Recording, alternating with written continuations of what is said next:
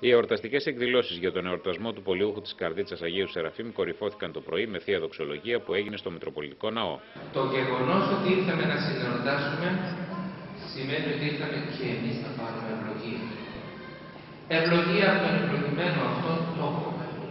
Αυτή την ευλογία που αυτός ο τόπος έχει.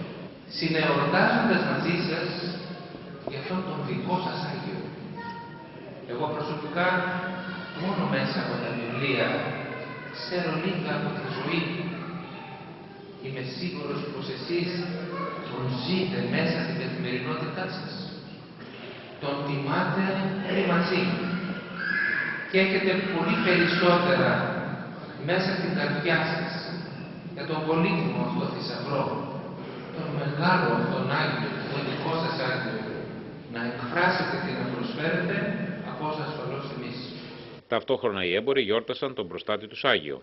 Χρόνια πολλά στους συναδέλφους εμπόρους να έχουν υγεία αυτοί και οι οικογένειές τους.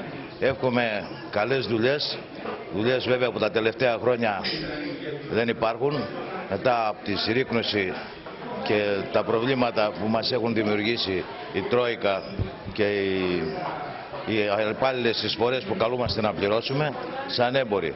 Ε, εύχομαι ό,τι καλύτερο, ευελπιστούμε ότι αυτές τις ημέρες των εορτών που θα έρθουν μπροστά μας, ίσως να ανακάμψουμε οικονομικά. Σήμερα τα καταστήματα και οι υπηρεσίες στην πόλη παρέμειναν κλειστά.